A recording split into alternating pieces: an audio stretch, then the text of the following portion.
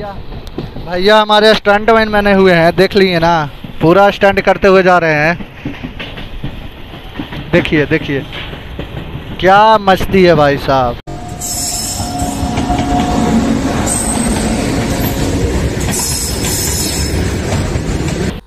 हाँ जी, क्या हाल चाल है आप लोग का? हम अंकित वापस से आपको एक न्यू ट्रेन जर्नी पे लेके चलते हैं और आज आपका भाई का ट्रेन जर्नी होने वाला है ज़ीरो छत्तीस इकतीस नटेसर फतुहा मेमो ट्रेन में।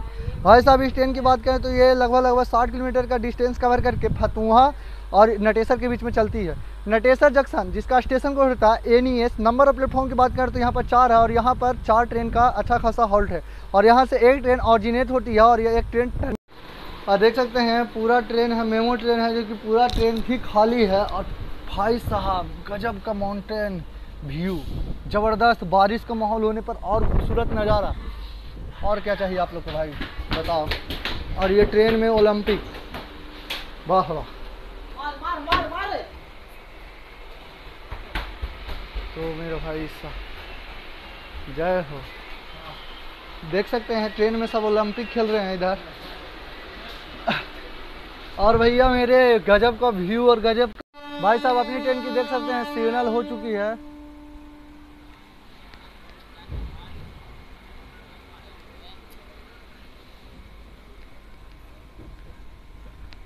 तो भैया, हमारे अपनी ट्रेन की यहाँ से हो चुकी है एकदम टाइम्स के अनुसार तीन बजे सिग्नल ओहो।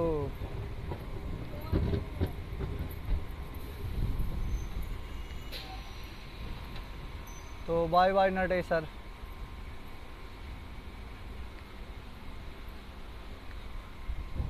मिलते हैं फिर कभी और किसी और नेक्स्ट जर्नी पर, तब तक के लिए बाय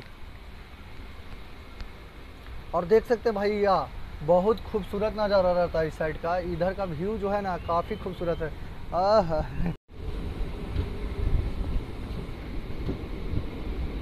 अवेलेबल हो चुकी है कटारी रेलवे स्टेशन पर देख सकते हैं, काफ़ी भीड़ होने वाली है यहाँ से भाई साहब। पूरा ज़बरदस्त वाला भीड़ होने वाली है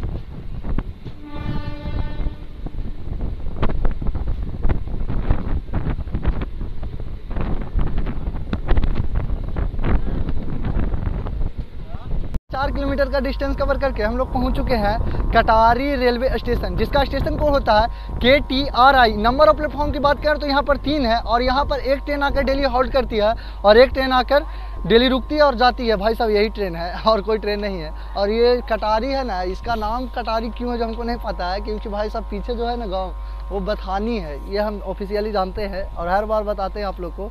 तो चलिए, अब इस ट्रेन की हो चुकी है सिग्नल तो मिलते हैं आपसे इसका अगला स्टॉपेज पे।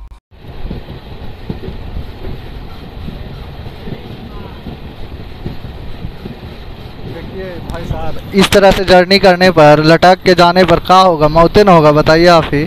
भैया पूरा ज़बरदस्त स्टैंड मारते हैं ना भैया। पूरा ज़बरदस्त स्टैंड करते हैं। और हम तो प्रे देखिए हमारा थोड़ा सा खराब हो चुका है माइक तो आप लोग आवाज़ को एडजस्ट कर लीजिएगा क्योंकि भैया हमारे बहुत अच्छा स्टैंड कर रहे थे लेकिन करना नहीं चाहिए इनको उचित नहीं है स्टैंड करना। नहीं तो भैया गिर जाइएगा, हम इनको वही समझाने के लिए आए हैं। उधर तो देखे थे अब बताइए, ये उधर से पूरा एकदम ज़बरदस्त तरीका से स्टैंड मार रहे हैं। अब गिर गए हैं तो किसको क्या लेंगे? है भैया, गलती का है यो बोला और तो पूरा स्टैंड दिखा रहे है। तो ये अच्छा काम है, बताओ तो। है? है अच्छा काम, बताओ। अच्छा काम ना है तो तू ऐसे काला कर रहा है। बाई द वे आपको देख लेता है पी इसी ट्रेन पर नए हैं मानते हैं। अगला ट्रेन पर देख लेता तो ऐसे करते तब देख के भैया मुँह में लुकाते हैं। कहला से कर रहे हैं भैया बताइए। वीडियो बना रहे ये ऊँची चीज़ नहीं ना है वीडियो नहीं बना रहे भाई।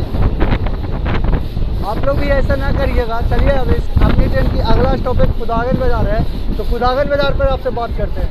देख सकते हैं। काफ़ी खूबसूरत रेलवे स्टेशन है खुदागंज बाज़ार।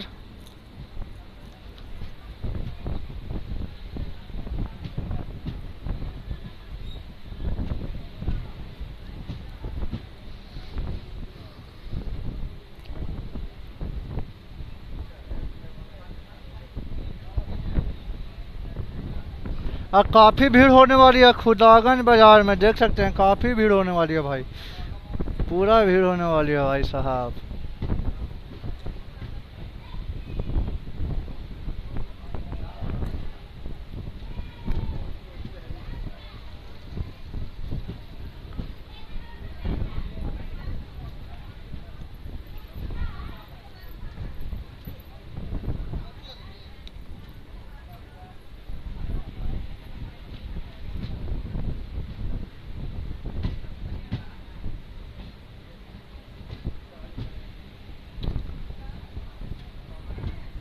दस किलोमीटर का डिस्टेंस कवर करके हम लोग पहुँच चुके हैं खुदागंज बाज़ार, जिसका स्टेशन कोड होता है? K D J number of platform की बात करें तो यहाँ पर तीन है और यहाँ पर एक ट्रेन आकर डेली हॉल्ट करती है, जो कि यही है भाई। और कब इस रूट पर एक और न्यू ट्रेन दिया जाएगा, जो हमको समझ में नहीं आ रहा। लगभग लगभग वन ईयर से हम इस रूट पर ट्रेवल कर रहे हैं तो देख रहे हैं। अभी तक के कोई न्यू ट्रेन का अनाउंसमेंट तक नहीं हुआ है। लगता है कि वो भाई साहब, देख सकते हैं, अपनी ट्रेन की हो चुकी है, यहाँ से डिपार्चर खुदागंज बाज़ार। बाय बाय, मिलते हैं कभी और किसी और नेक्स्ट जर्नी पर। तब तक के लिए बाय। और काफ़ी खूबसूरत है ये रूट पे सभी लोग। बहुत खूबसूरत रेलवे स्टेशन है ये भी, खुदागंज बाज़ार भी। हमारे, देख सकते हैं, गजब का माहौल बना हुआ है अभी। और पूरा बारिश का माहौल है यार, ज़बरदस्त लग रहा है। देख सकते हैं, और अपनी ट्रेन की धीरे धीरे अराइवल हो रही है। इस्लामपुर रेलवे स्टेशन पर। और भाई मेरे, ज़बरदस्त तो भाई साहब, देख सकते हैं, अपनी ट्रेन के अराइवल हो चुके हैं इस्लामपुर रेलवे स्टेशन पे।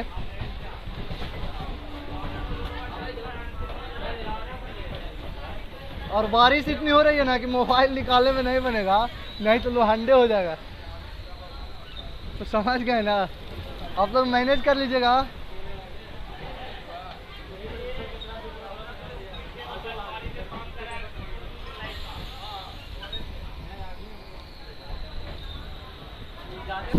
नटेसर से लगभग लगभग, नटेसर से लगभग लगभग 25 किलोमीटर का डिस्टेंस कवर करके हम लोग पहुँच चुके हैं इस्लामपुर, जिसका स्टेशन को होता? है आईपीआर नंबर ऑफ़ प्लेटफॉर्म की बात करते हैं यहाँ पर तीन है। और लगभग लगभग चार ट्रेन यहाँ से ऑरिजिनेट होती है और टर्मिनेट होती है। भाई साहब, यहाँ पर लगभग लगभग जो है ना कि दो ट्रेन मगध एक्सप्रेस और हटिया, यहाँ का सबसे प्रमुख ट्रेन है और उसका मगध का जो आप लोग कमेंट कर रहे हैं ना, जल्द ही उसका full journey Islampur to new Delhi ज़रूर लाएँगे।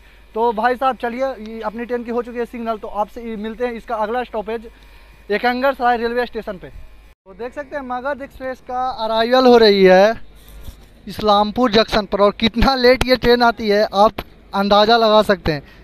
कितना लेट है भाई साहब? एक बजे शायद टाइम है इसका और इसमें लगा हुआ है डीडीयू का S P G back four locomotive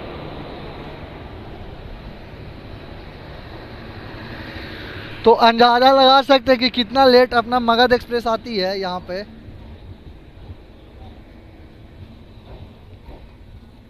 तो चलिए, अपनी भी अब ट्रेन की हो चुकी है सीना। लगभग लगभग एक घंटा डिले होने के बाद। भैया ये लोग से आ गए जब बहते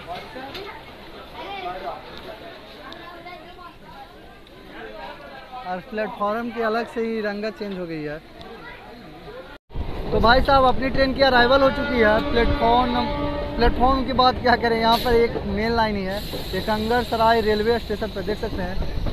और काफ़ी भीड़ होने वाली है इस ट्रेन रूट पे।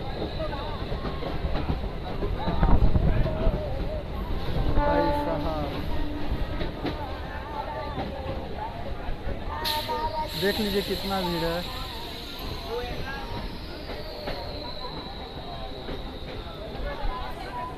लगभग लगभग पैंतीस किलोमीटर का डिस्टेंस कवर करके हम लोग पहुँच चुके हैं एक सराय रेलवे स्टेशन, जिसका स्टेशन को होता है ई के आर नंबर ऑफ़ प्लेटफॉर्म की बात करें तो एक ही है और यहाँ पर छः ट्रेन का अच्छा खासा हॉल्ट है। भाई साहब, एक सराय है ना, जो काफ़ी इस रूट का सबसे महत्वपूर्ण मार्केट है और बगल में देख सकते हैं, बाज़ार उजार लगा हुआ है। तो चलिए मिलते हैं कभी और किसी और नेक्स्ट जर्नी पर। तब तक के लिए ऐसे ही हँसते रहिए, मुस्कुराते रहिए, लगातार अपने भाई के साथ ट्रेन जर्नी करते रहिए। See you soon take care bye Jai Hind. मिलते हैं कभी और किसी और नेक्स्ट जर्नी पर। तब तक के लिए जय हिंद।